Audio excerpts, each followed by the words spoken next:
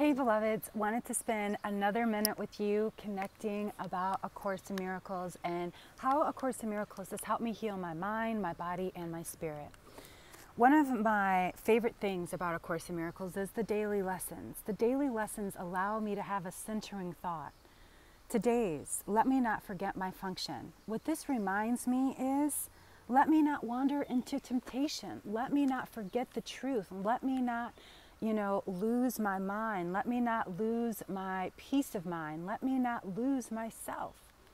And I never knew that I would lose myself in thoughts and distractions and all kinds of things until I knew. A Course in Miracles has been one of those things that has just totally changed my life from the inside out.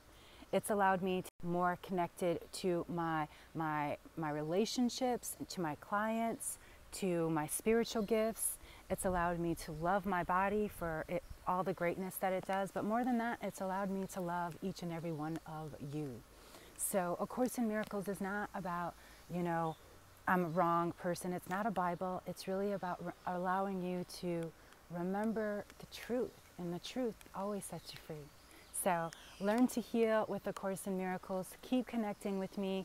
I'll keep sharing these little videos, and soon I'll be sharing how you can connect with me and really learning and understanding A Course in Miracles at a deeper level. I send you so much love and light, and just hold you in the light as my brothers and sisters.